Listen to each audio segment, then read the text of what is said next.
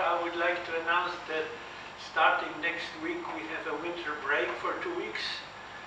And so the next seminar will be in February. Proste wytłumaczenie jest takie, że ja jadę na wykłady do Wiednia, nie chciałem stracić żadnego seminarium. So we have today Jan Gutt who will explain about simple non-holographic models using projective geometry. Stressing the word simple. Yes. Thank you.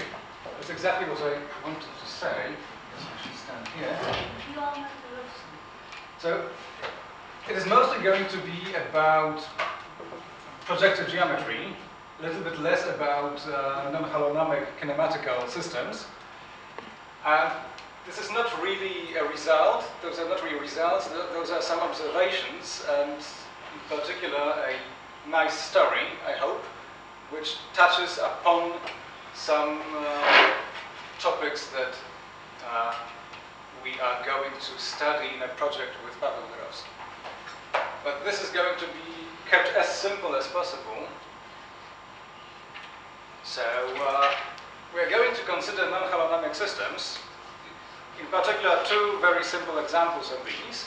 So a non-holonomic system is something that is characterized by a configuration space. It's a mechanical system. You can uh, just think of its kinematics. We do not consider the uh, dynamics of this system. Uh, it has some non-holonomic constraints on velocities. So at every point, the velocity has to satisfy some linear conditions, and th these conditions cannot be simply reduced to uh, moving on some submanifold of the configuration space. That is the meaning of the word non-holonomic. And we shall also use some additional structure at certain point.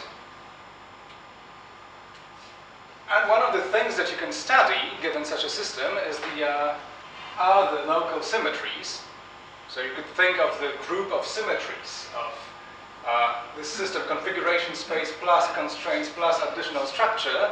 Since we are mostly concerned with the local picture, we consider local symmetries, and we reduce that to infinitesimal symmetries, that is to vector fields whose flows preserve this data. And in some cases, it turns out that the algebra of local symmetries is a semi-simple Lie algebra. And this is interesting because semi-simple Lie algebras have a rich structure. So uh, if that happens, it is interesting to look at the corresponding semi-simple Lie group. So a group is a global object as opposed to the local symmetries. So it would be nice to have some uh, interpretation of this Lie group as acting on some extended configuration space. So that's why we want to complete the configuration space. And it turns out that in some interesting cases, you can actually embed the configuration space into a flag variety. I will describe what that is. Sometimes called the generalized flag variety. And then this data of constraints and additional structure can be recovered from a certain double fibration. this is some data of some natural standard maps between flag varieties for this given Lie group. So the first uh, system we consider is the so-called ice skate. It is so-called because it doesn't really have much to do with an ice skate. It's extremely simplified, also sometimes called a knife. Uh, so is the following system. Uh, should perhaps here. Consider an ice skate which moves on an ice rink, which is just the flat Euclidean space, and the constraint that we impose on it is that it always should uh, move in a direction tangent to the, to the blade. So it moves without skidding. So it's not going to move sideways. So the blade of the ice skate always has to be tangent to the trajectory, and we parameterize the configuration by position and angle. Well, we can measure the angle with respect to some chosen axis, perhaps to this one. So this angle is going to be theta. So this is a simple description. We are going to make it a little bit more uh, geometric at some point. So the configuration space here is just R2 times a circle, the coordinates are x1, x2, and theta, which is position and angle. And now the constraints simply tell us that the blade moves without skidding, so it always moves in a direction parallel to the blade. And that means that uh, the velocity satisfies this equation. In other words, this differential form evaluated on the velocity is zero. Well, you can check that in those coordinates, this is what tells us that it moves parallel to the blade. So this is a single linear equation on the velocities, since the configuration space is three-dimensional. At each point we have a three-dimensional space of velocities. This single equation at each point reduces the space of velocities to a two-dimensional subspace. And we call it dp at a point B, that's going to be the subspace of allowed velocities. And moreover, there is some extra natural structure on it, namely, uh, we can consider the following two uh, the following two vector fields, the following two velocities given at a point P. Uh, the first one is simply skating in a straight line. So here the point x1, x2 moves along theta with velocity 1, and we take the subspace of velocities spanned by this single vector. And the second one is the span of uh, the vector that corresponds to spinning. So uh, I guess this is called the pirouette in ice skating. And why? Because the first one, of course, is So those are those are two particular at each point those are two particular vectors that satisfy the Ah. Constraints. And since the space of admissible velocities is two-dimensional, this spans the but this. K is not. Uh, No, it is. There, there's Well, it is in certain sense canonical. Well, the point is, of course, what physically there The subspace is distinguish. Yes, the subspace is yeah, exactly. That's why I what speak about the canonical, span. Yes. So the extra data is uh, a splitting of the space of allowed velocities into a pair of one-dimensional spaces, into a direct sum. Because the, because the guy can, can just Yeah. Skate. And this is something you can recognize when, if you skate. Obviously, you can, Yeah, distin- you this can distinguish. is, is, is, not, is not canonical. Well, depending on what you consider to be your structure. So we consider that to be part of the structure. Yeah, yeah. Well, this is definitely the, this is a part of the structure that you yourself uh, sense if you try to skate. Well, you have to skate with a single leg. For a because it's skater, simple it skate. is canonical. So for a skater, it is cano- canonical. Why it is canonical? Because he can make pirouette Yeah. independently You can tell just if you are spinning at a point, and you can tell No, if no, you no, are this riding I a understand line. that. So this two-dimensional space is canonical. No, no, two-dimensional, yes. but Yeah, but also saying that those one-dimensional ones. one-dimensional. The- the- For These him, are it's also different to make spinning, which is just this d over d theta, this k piece sp- space, than just going on straight line, which is out of place. Yeah, So, okay, but this is related with the splitting of the configuration space. But locally, the configuration space is three-dimensional and that's all. That's all. Oh, well, that, But then there is distribution first, that he must be if you tangent. Okay, that I his can- Yeah, so velocity this is this additional structure. Always have to be, ta- his velocity always have to be you can consider tangent to the distribution, and I I guess I should moreover, the distribution is once still again. split, because he can send draw it going straight on. I'm going to have more of such diagrams, but if you want to see it now, of course, consider the following diagram. Just the obvious two projections, right? Call this one P, call that one, uh, let's say Q. So what you get here is that, uh, well, first of all, spinning at a point, I shouldn't call it P because I call it point P, but I use P everywhere else. so- I, I withdraw my question because every, this is obvious. However, my, Yeah, uh, my is. intention It's supposed to was to draw your attention to the fact that this is a global structure, not local. Because locally, you you do not record. There is This such is a structure that is related to the fact that this configuration space is a product of two manifolds. No, ah, locally, you don't see. Excuse Well, me, but, depending on what you want to consider, this is part of the data. excuse me, but if you have a trajectory, basically we know how to calculate the tangent vector, and that solves the problem. Where is the problem? And this gives the direction of theta. And No, but locally, the space is just three-dimensional. And Yes. the, and there is Yeah, no- but Where is the physical difficulty But what in is the keeping, problem? It is keeping three-dimensional, it the... is three-dimensional, and there is a constraint. Yeah. Yes. So, But there is also the And this cons- uh, constraint a priori doesn't split. This is a very good question, and this is a Ah. question I, I would discuss if I were discussing curved versions of these. Namely, what is the basic structure that you need on this space? So the basic structure is to, to be able to say what it means to skate in a straight line. So basically you need what is called a projective structure. Okay, uh, so to- this, this so you need the notion of a, of a straight line.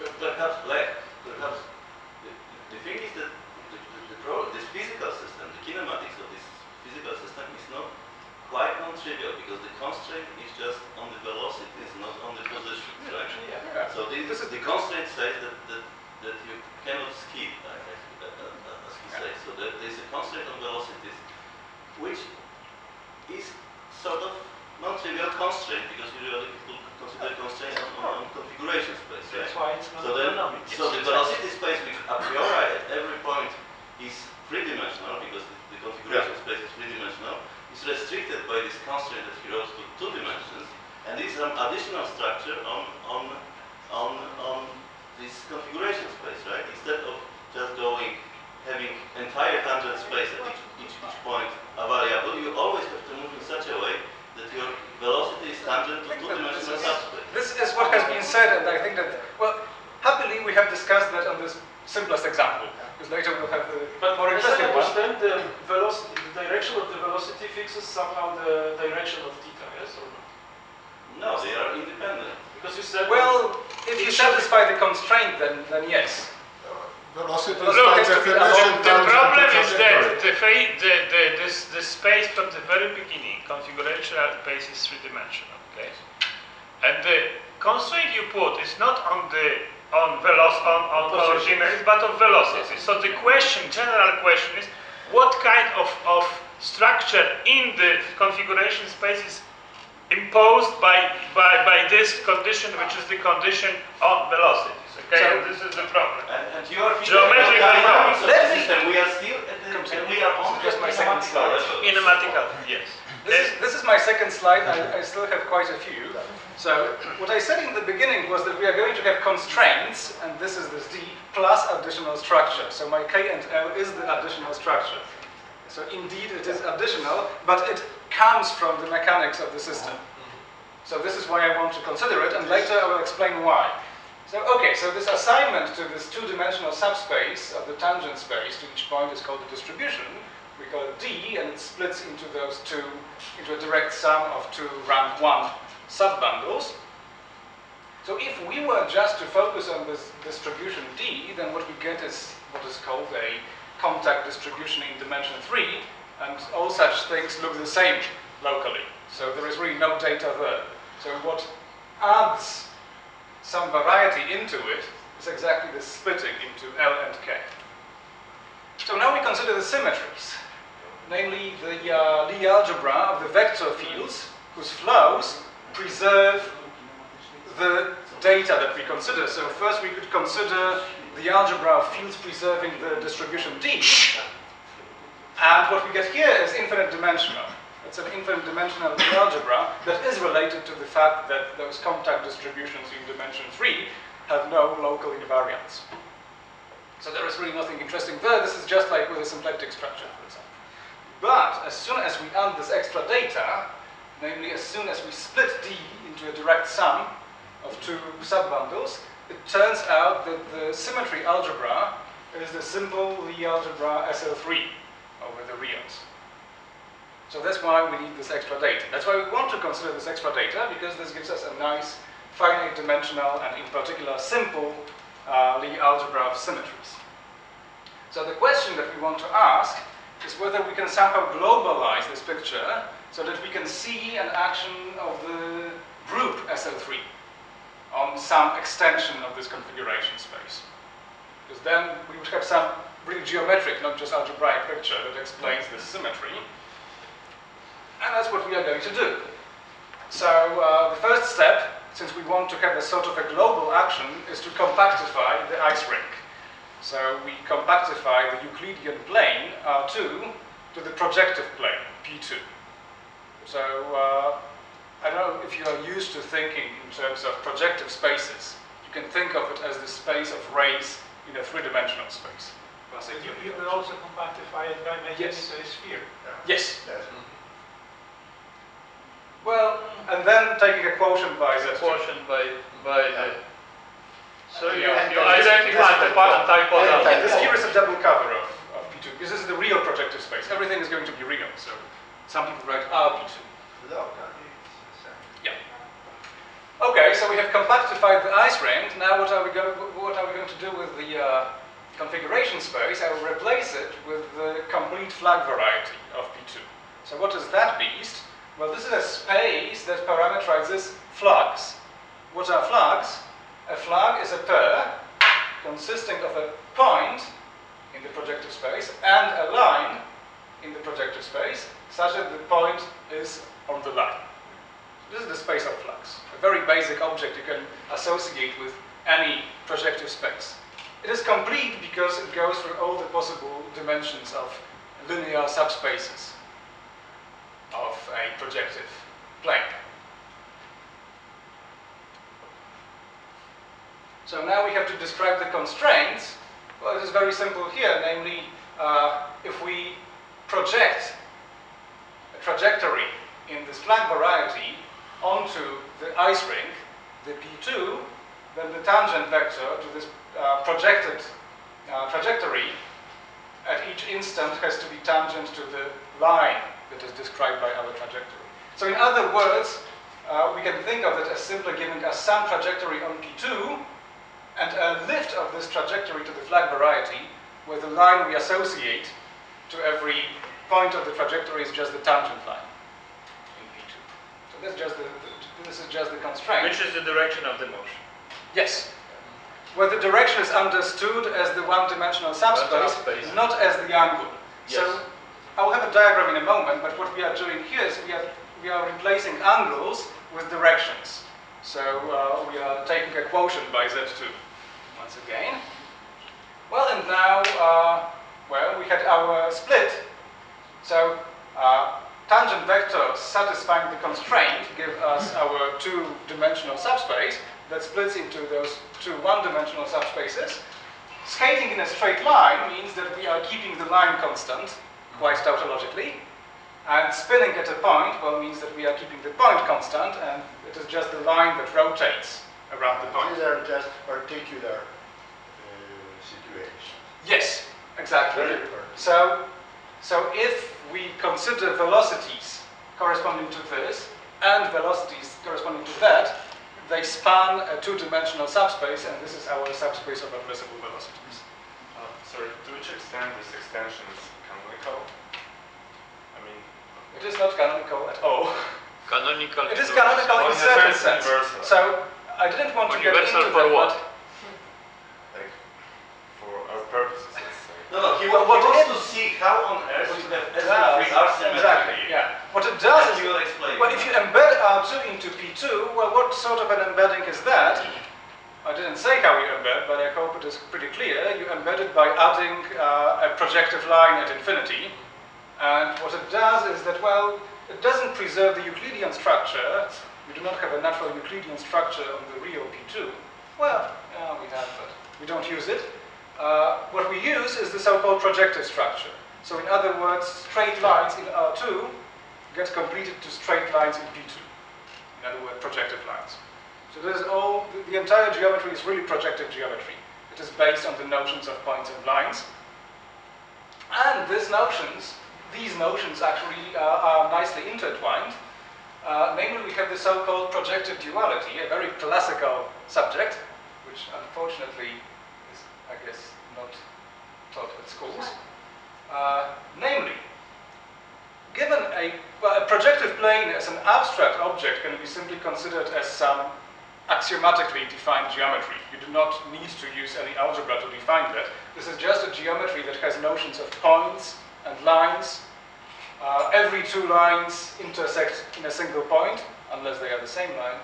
Through every two points you have a single line, and you have the relation of incidence between points and lines. So uh, a very classical thing is that you can actually swap those two notions. It's sort of called Desargues uh, Right. theorem or something like that. yes. But I don't know exactly. Well, okay. So, uh, in other words, you can uh, consider another projective plane where the points are going to be the lines of the original one, the lines are going to be the points of the original one, and the incidence relation is just a transpose of the original incidence relation. So this is called the dual projective plane to that one. And they are really in duality, so the fact that this one has a star and this one doesn't is just a convention. So uh, th- this one is going to be the, uh, the one that we distinguish, and that one is called the dual. So what is this incident? Yeah. So this incidence, well, I, I wrote it this way because uh, we say that a point is incident to a line if it lies on that line. In other words, a line is incident with a point if it contains the point.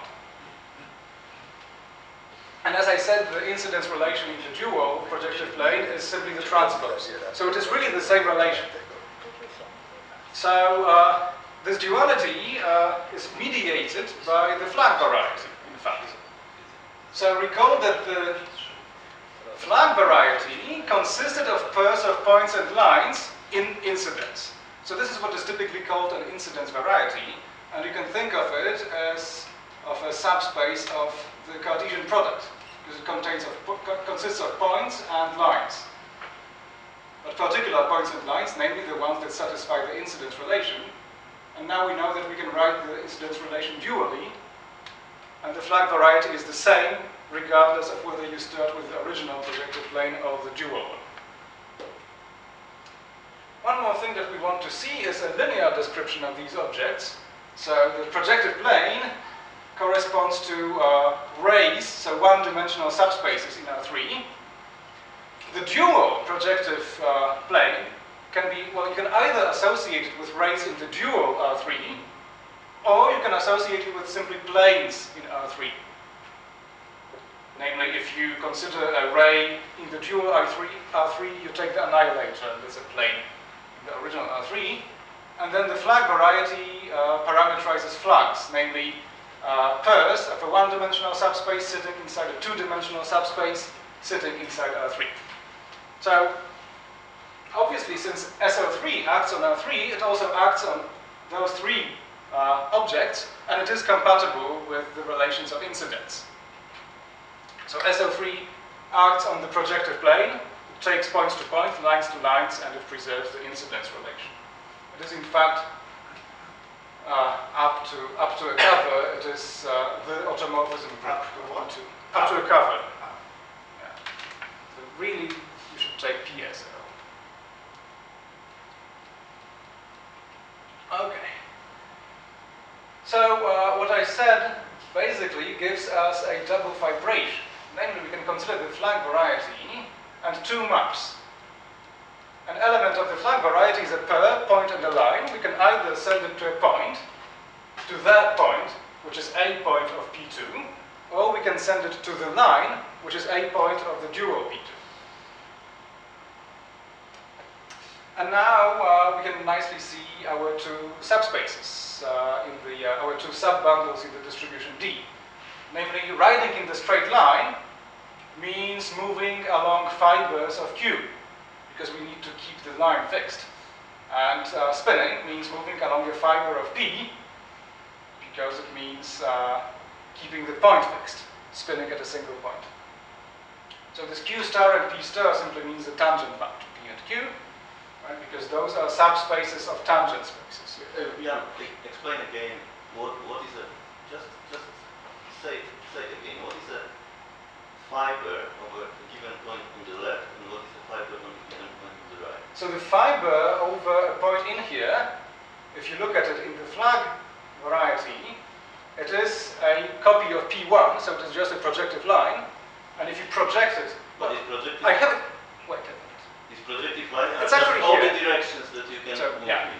So if you if you consider a fiber of Q, then you get a line in the flag variety. If you project it down to the original projective plane, then you actually get this line that is described by a point over here. And similarly uh, for the fibers of P.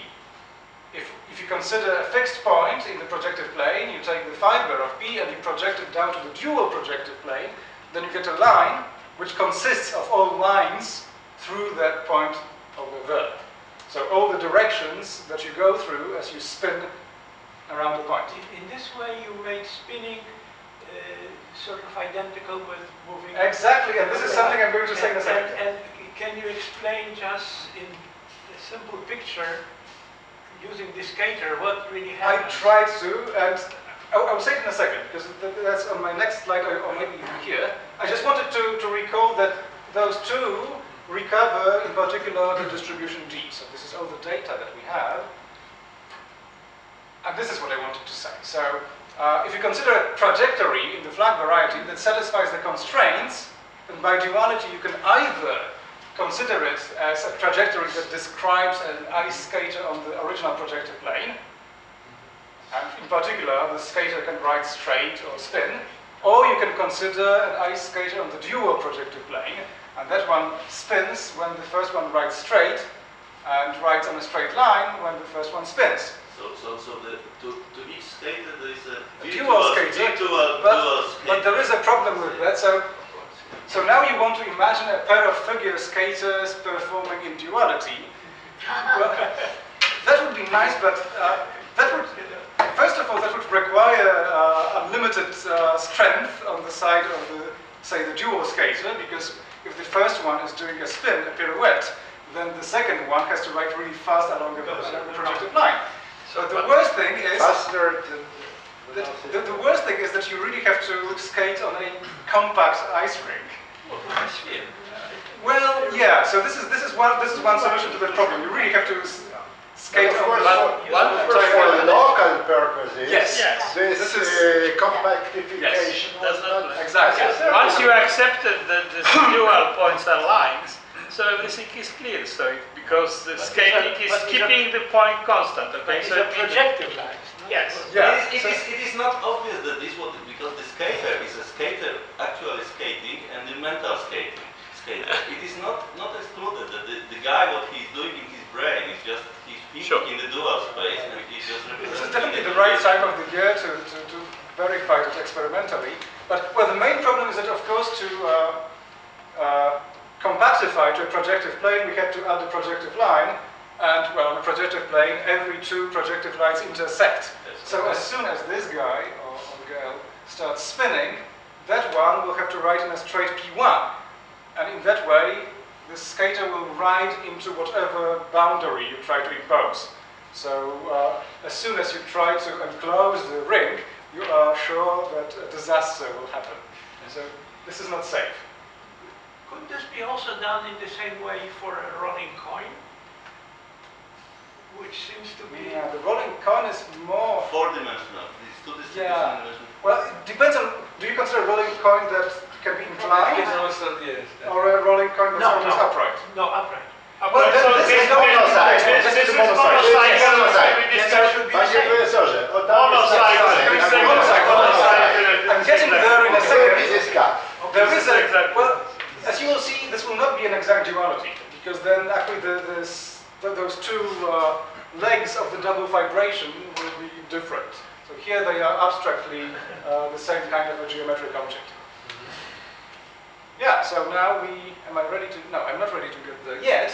So first I just wanted to recall how we embedded the original configuration space in this compactified one. So R2 is an open affine subset of the projective plane. Over that we had this original configuration space that described position and angle. So as soon as we have position and angle, we can consider a line through the given point at a given angle, but then the opposite angles give the same line, so this is really a two to one cover of the corresponding open subset. So this is how the simple description fits into that one. And now we recall that we had a natural action of SL3 on these objects, and this double fibration was equivariant under that action. So this action will extend the infinitesimal action on that side. And what we get is the following picture. So the group is SL3, uh, our flag variety and our projective planes are homogeneous spaces, homogeneous varieties, that is quotients of SL3 by suitable subgroups, so-called parabolic subgroups, and the subgroups look this way. So uh, here we have P looks like that, Q looks like that. B is the intersection, there's the so-called Borel subgroup, and you can describe these as a stabilizer of a ray. So this one simply stabilizes the ray spanned by the vector 1, 0, 0. This one is a stabilizer of a plane. And B is, well, it's a stabilizer of a flag because it's the intersection, preserves both a ray and a plane. And that describes the global SO3 symmetry on this extended uh, configuration space. And in particular, this symmetry preserves our K and L, our two subbundles, because we have described them in terms of this double fibration as kernels of the tangent maps to these projections. So this is how it looks like for the ice skate. So this way I am done with the ice skate. That was the simplest possible.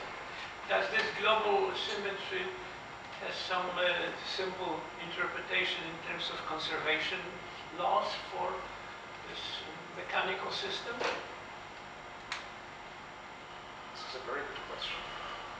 You know, Usually, Combinatorial have to be Probably should. Uh, yeah.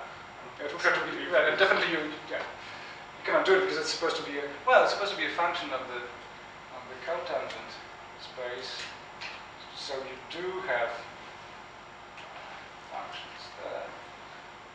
So I think probably you can, yeah, I guess you, I guess you probably, probably you cannot extend the Hamiltonian without having some uh, poles. So I don't know. But, but It's from, a the, very from the physics, from the physics from the very beginning, this SL3R Yes, it's very is, unphysical. not obvious at all, right? Yeah, and it's, ve- it's, it is very unphysical because, uh, as I said in the beginning, what, what you really need on this R2 and what this SL3 preserves is only the projective structure, so the notion of straight lines. It doesn't preserve distances. It doesn't preserve angles. So all the structure that you use to there must be some conservation law related to this. well, the, the problem is that this only this is only a But the symmetry of the dynamics, kinematics, dynamics not the will dynamics. use Yeah. this metric structure. Yeah. So this is Because the the other which is is another the dynamics So, so what is really the consequence of this? No, but definitely it, it, it has something to the dynamics because if, if you don't consider dynamical system with the Hamiltonian, this Hamiltonian must impose, mu- mu- must uh, enforce the motion which is, uh, which is compatible with this constraint, okay? So it means that this symmetry how can, somehow ca- Yeah. will be reflected in, the, in the dynamics. Uh, But okay, Yeah, but But this, this is the end of, this is, of the answer uh, this is the end of the answer for the moment. for the moment. Yes. So the purpose of that for me was simply to uh, show how for this, simply the geometric structure that is associated with this kinematical system, namely this distribution D with the splitting, how this infinitesimal symmetry of such a thing can be seen globally. And the real motivation behind that is that uh, once you have associated with this data on the configuration space some homogeneous space, some flag variety, uh, you can start to do Cartan geometry with that, so you can start to consider curved versions of this situation, but I don't want to speak about that. So now I move to the monocycle, which could be called a, a spinning coin. I, I got this picture from Wikipedia, so I guess it is legal. So uh, once again, we simplify that greatly. So what we consider here is the following configuration space. I guess I should draw it once again. So basically, we have a circle that uh, is rolling on the plane.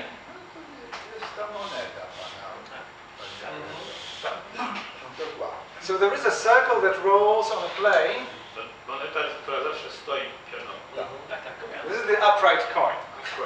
So I'll, I'll describe the constraints in a second. Let me just uh, describe the coordinates here. So we are going to describe this in the following way. We consider the abstract uh, circle, the abstract monocycle. Uh, we fix some angular coordinate on that. Uh, well, we fixed some Cartesian coordinate system on the, on the plane here. And now x1 and x2 is going to give us the coordinates of the point of contact of these two on the plane. So that's x1, x2. Uh, phi is going to give us, this way, the point, the location of the point of contact on the abstractly considered circle. In particular, you could mark this circle with a zero somewhere.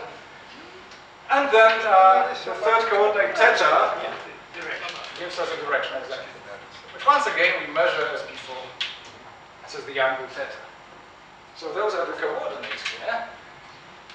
So the point of contact and the angle as before. So you, can see it as an extension of the, of the ice skate ring. You just added one degree of freedom, namely phi. And now the constraints are the following.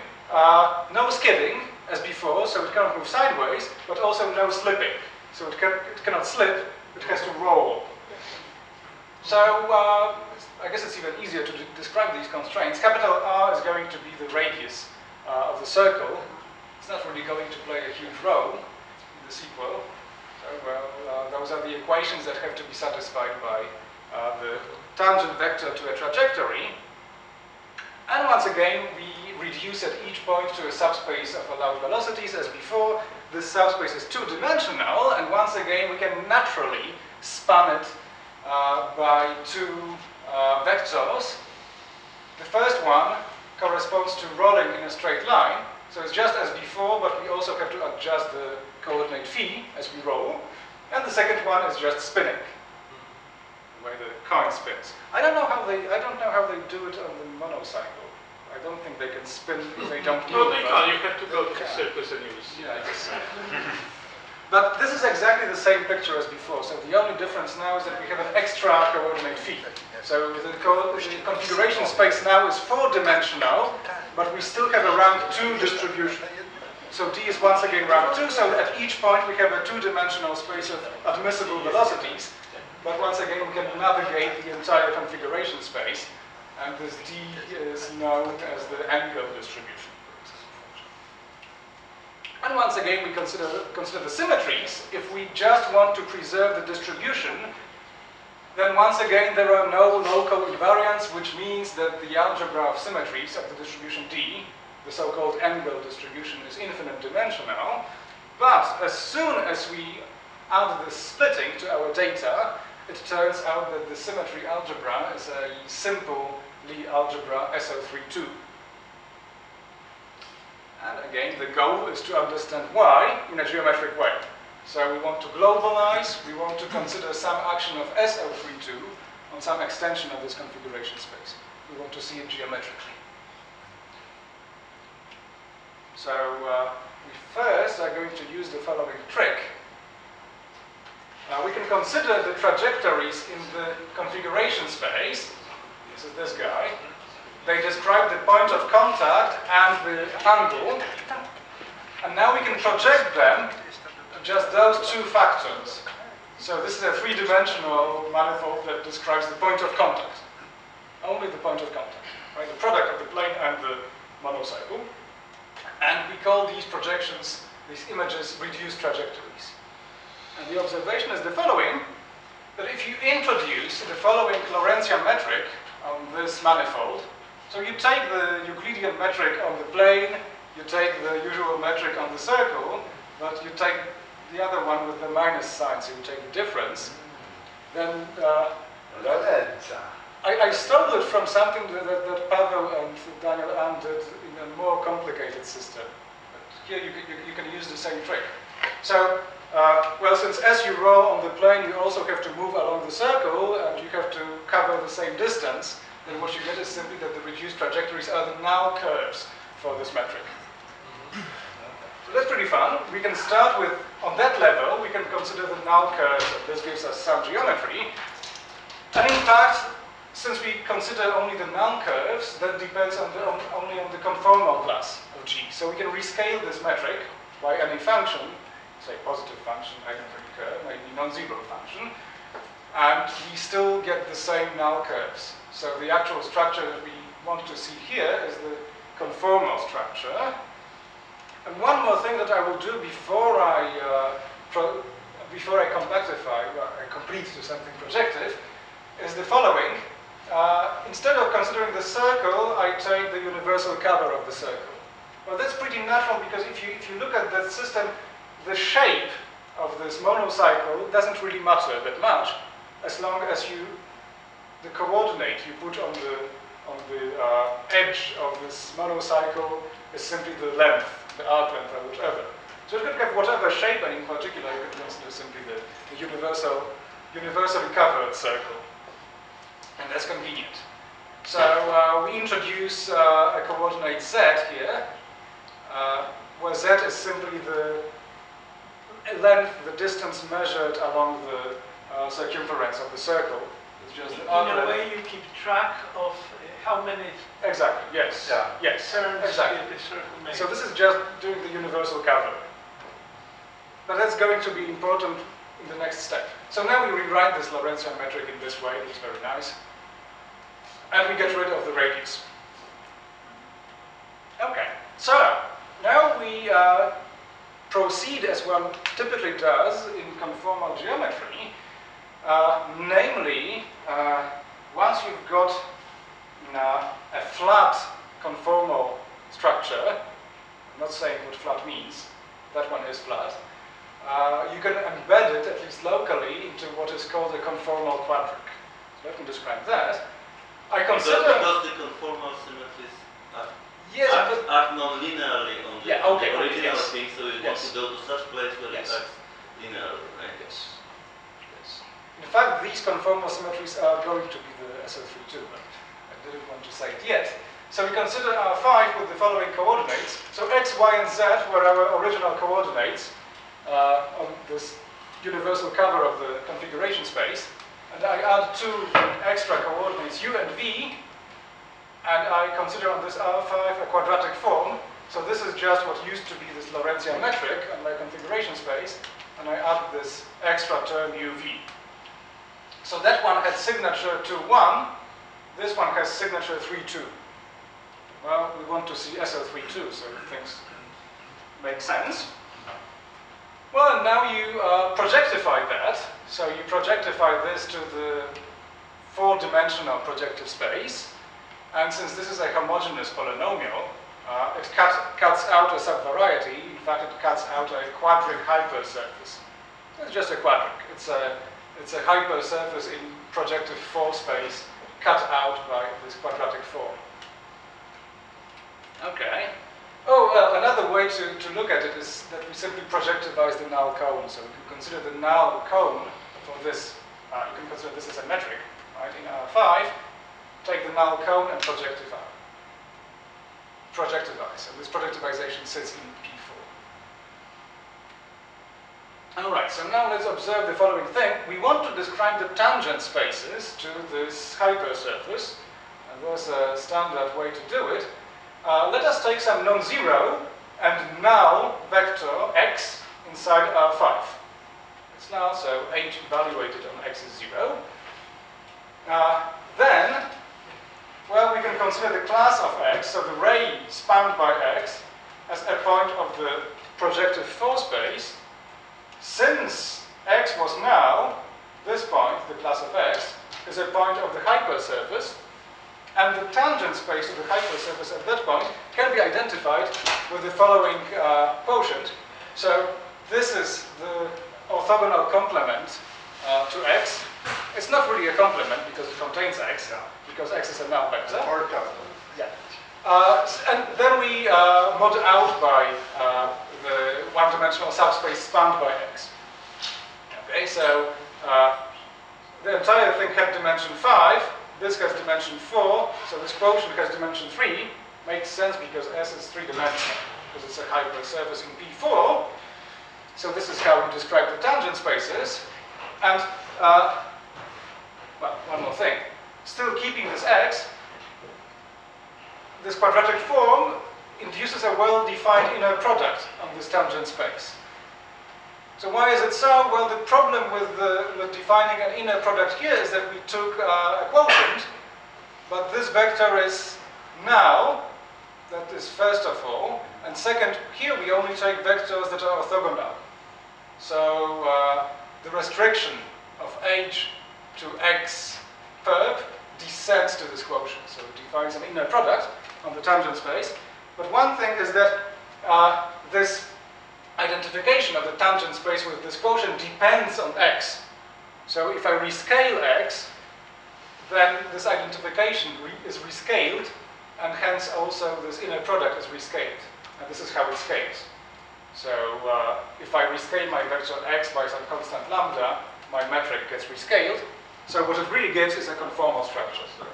So this, in, this is how you induce This lambda may, may depend upon x. Yeah, this is the point. Yes, of course. Yes. So yeah, this is a, you not just the a same number, thing but a function. the arbitrary quadrics, like also Yes, like in complex spaces, also in like complex spaces. maybe. Well, yes, but then you get a complex uh, conformal structure. Yeah. Yes, yes. You can consider a, a complex projective space, and then the quadratic form has no signature, so there's really one up to coordinate change. So this gives us a well-defined conformal structure on this quadric, and uh, well, it is manifestly invariant under the group SO32. So SO32 is simply the uh, group, the subgroup of GL5 that preserves this quadratic form. So it preserves the quadric, and well, it preserves this conformal structure since it was naturally induced from H. So this is the uh, group of conformal automorphisms of this quadric. So why are we doing that? This is well, this is because we wanted to embed our uh, space describing the points of contact, which had coordinates x, y, z, and a conformal structure. We want to embed it into this conformal quadric with its canonical conformal structure. So this is how the embedding works. In the simplest possible way, so we take the take the coordinate u to be 1. This is the notation for points in a projective space. So this is understood up to rescaling. That's why you uh, use these because you, The uh, first you mean uh, ratios. Right? So the, we can set the first one to be 1 just by rescaling, assuming it is non-zero.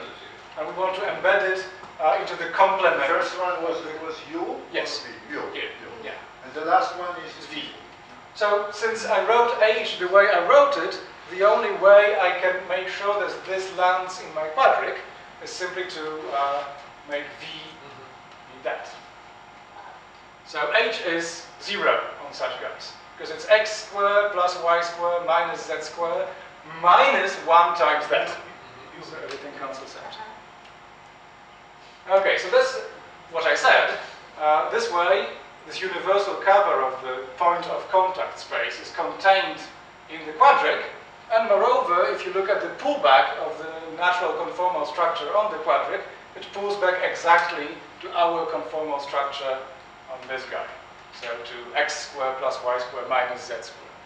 So we have embedded this R2 times R1 together with the conformal structure conformally into uh, this quadric. There's one more thing that is interesting to note. So uh, that thing described the point of contact. We could in particular project it to the point on the plane at which the monocycle sits. So if we now look at it from this projective viewpoint, this map extends to a projection. So projection here means a rational map. So it is not defined everywhere. If you, if you project, it's just like if you do projection from a point, then obviously there is no uh, way to send the point somewhere. So this is a projection from a two-plane. So it is defined on the complement of a two-plane. This projection is given simply by uh, mapping this to the point in P2 described by 1xy. So in particular, this projection restricts to a well-defined map from S with a single point removed into P2. Note that this point uh, is, does, is not contained in the image of, of that. This will also be important because one thing I will want to say later is that uh, lines in here are mapped by this projection into lines over there. That's how projections work. After all, we are doing projective geometry. So projections are exactly the maps that preserves points, lines, and incidence. Well, okay. So uh, we are done with the blue part, that one that described the uh, point of contact, up to doing a cover, but that doesn't matter. So then we had th this one, which should be red actually, and this one was the theta part. Direction. Yes, exactly. That one was the direction. So we are going to mimic what we did before. So replace uh, angles with tangent lines. Uh, and it turns out, well, those should be really lines in P4, but they should be contained in S, because we want to move along those lines. It turns out that projective lines, so simply P1s inside P4, which lie on this quadric, are precisely the isotropic lines. So what are isotropic lines? Uh, there is a nice linear description. So lines in the projective space are planes in the linear space, in the vector space.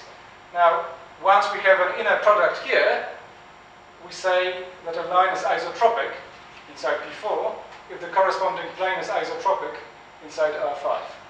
So in other words, the uh, inner product restricted to this plane is zero. So totally null, as some would say. And one more thing. So projective lines lying on S are the isotropic lines. This is one thing. Another observation is that projective lines uh, lying on S are precisely the null geodesics of the conformal structure. So uh, a conformal structure has a well-defined notion of null geodesics. It doesn't have geodesics as such, but it does have well-defined null geodesics. And that makes sense because uh, the reduced trajectories are null. So in particular, those null geodesics are a special example of reduced trajectories. Excuse me, null geodesics is a narrow, narrower category than null curves. Yes. Yeah. So these are conformal geodesics which are null. yeah. So you can you can choose a metric from the conformal class and consider the null geodesics, and that doesn't depend on the choice of the And metric in the class. If you change the representative, then only the Yes, parameterization. exactly. exactly. Which sort of can be seen from that exactly because this is this is the flat case at least, uh, where uh, the null geodesics simply follow from the projective structure uh, and yeah, projected structure and projected lines on the quadric. Okay, I'm running out of time soon, so uh, I need to introduce a few other objects. So before we were describing the compactified, extended configuration space by means of a flag variety. So here I'm going to uh, use the isotropic flag variety. So as before, this consists of uh, points contained in lines, so pers xl in the flag variety. But now I require the line to be contained in the quadric, which is the same as saying that I require the line to be isotropic, which also implies that x uh, belongs to the quadric. So if it were represented by a vector, the vector would be null. And the linear description follows. So this one parameterizes the following flags of subspaces. We have a one-dimensional subspace contained in a two-dimensional subspace inside, uh, inside R5, and the quadratic form restricted to each of these has to be zero. So those are now rays contained in totally null planes. And, well, since uh, we have a linear description for that, and since SO32 acts on R5, preserving our inner product, our quadratic form, it also acts on this uh, flag variety. It also acts on the, on the quadric S, and this action is compatible with incidence. One more ingredient I will need is the so-called Fano variety of S. So this is simply the space that parameterizes projective lines contained in S. So I can consider that as a subspace of the dual projective uh, 4 space. Okay, so I simply take the flag, the isotropic flag variety, and I forget about the point. I just consider the lines. So in other words, those are simply the isotropic lines inside P4 for that given quadratic form. And as before, I have a double fibration. It looks very similar to the previous case, only that now I have the isotropic flag variety. So this consists of pers, a point and a line. If I consider the point, I project down to the quadric S. This is the guy that carries the conformal structure. If I consider the line, I project down to the Fano variety of S. So this answers the question whether I have the same sort of duality for the rolling coin. It's not really a duality because those are different, uh, Different. different spaces. A But different is a double fibration. Yes, they have different dimensions. They are different. But there is a double fibration, so there is something happening at least if you had some So to tell interpretation. about the dimensions, because what, what are the dimensions of the spaces? There. Well, this has dimension 3, and that one has dimension, uh, what? I have to compute it. Do you know that? Yeah. Can you say that out of your head? I had to look at the, w- once I write down those matrices, it's, it's very clear. So let's wait for the, for the, matri- for the matrices describing these. But as before, I can describe my one-dimensional uh, sub-bundles, L and K, as the fibers. So once again, curves tangent to L, this is the guy that describes riding in a straight line, are the fibers of the projection onto, onto the Fano variety. Well, after all, the Fano describes lines in S. So if I take such a fiber of Q, so I fix a point in the Fano variety, which means I fix a line in S, I look at the fiber, I project it down to S, I get the line tautologically, and this is the same as a null geodesic S. So in other words, if I move along uh, this one-dimensional, this rank 1 sub-bundle L, I'm moving along a null geodesic S. And one more thing is that, oops, I show that. So one more thing is that if now I project from S to P2, so projection to P2 is the projection that I described before, the one that projects down to the extension of this plane. So namely, I just look at the trajectory that the uh, monocycle traces on the ground. I simply get a line in P2. So this is riding in a straight line. And on the other hand, that one preserves the point of contact, both on the plane and uh, on the circle, so it simply corresponds to spinning. Yeah, you can, you can compute the dimension from here. So that, that, that was three-dimensional. Uh, well, that one should also be three-dimensional, right? Yeah. Yes, I'm sorry, that one is also two-dimensional. The dimension is the same. Yes. Okay, and now let's see how this original picture embeds in here. So first of all, I can embed the Euclidean ground into P2. Then I have this space of points of contact. This is an open locus inside the quadric. Then I had my original uh, Configuration. space up to a double cover over here. It is a two to one cover, a double cover of this isotropic flag variety. So this is how it embeds. And now once again recall that we had an SO32 action. This is my last slide. Uh, almost. So uh, SO3 acts on those flag varieties. They turn out to be homogeneous spaces for suitable subgroups. So it's exactly as before. So P is a stabilizer of a null ray, Q is a stabilizer of an isotropic plane, and B is uh, the intersection of these. So these, once again, are homogeneous varieties for SO32, and this double fibration is equivariant. And I guess that is it, because now uh, we see how the global SO32 uh, symmetry works here. So I think I will stop here. I will not show you the rest, but there, there is more to tell. You could What is the bonus? well, the bonus was, uh, well, I, I I can show that, okay, but I'm not going to say anything about that. So the bonus now. Uh, so we have described the ice skate and the monocycle. We had the symmetry algebras, and well, you can classify semi-simple Lie algebras, at least over the complex numbers, uh, by the types. You can draw Dynkin diagrams, for example. So this one has Lie type A2, that one has Lie type B2. Uh, 2 is the uh, Lie rank, is the dimension of the Cartan subalgebra. Well, so the only other simple Lie algebra type of the complex numbers of rank 2 is G2, uh, the exceptional one. So the question is, uh, is there a system that realizes G2 somehow? And the answer is that, well, you can do it with the, with the, with the Zorb, so you have to get one dimension further. So those things, well, this is based on observations of Cartan, but that, that, that was described by Montgomery and Bor, and then by, by Pavel Nurowski and Daniel An.